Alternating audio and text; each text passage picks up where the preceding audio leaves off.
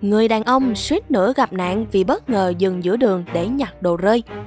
Sự việc được camera an ninh của một nhà dân ven đường ghi lại được xảy ra vào khoảng 11 giờ 30 phút ngày 7 tháng 7 trên đường Nghĩa Thành, thuộc xã Nghĩa Thành, huyện Nghĩa Hưng, tỉnh Nam Định. Theo đó, một người đàn ông điều khiển xe máy tay ga đang lưu thông hướng ngã ba Nghĩa Thành đi chợ Nghĩa Thành thì dường như đã nhìn thấy thứ gì đó rơi giữa đường nên đã đột ngột phanh gấp để nhặt. Tuy nhiên, tình huống quá đột ngột khiến chiếc xe tải đi cùng chiều phía sau không kịp xử lý nên đã hút mạnh vào đuôi xe máy. Cú tông mạnh khiến chiếc xe máy văng xa khoảng 5 mét, hư hỏng nặng.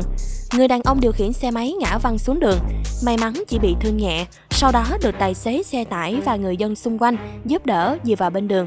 Tình huống trên không hiếm trong giao thông ở Việt Nam khi một bộ phận không nhỏ người dân thiếu kỹ năng sử dụng phương tiện giao thông an toàn. Trừ tình huống phanh gấp để tránh sự cố bất ngờ, người điều khiển ô tô, xe máy không nên dừng đột ngột khi đang lưu thông mà chưa cảnh báo với phương tiện đi sau, bật xi nhan hoặc đèn khẩn cấp vì rất dễ gây tai nạn.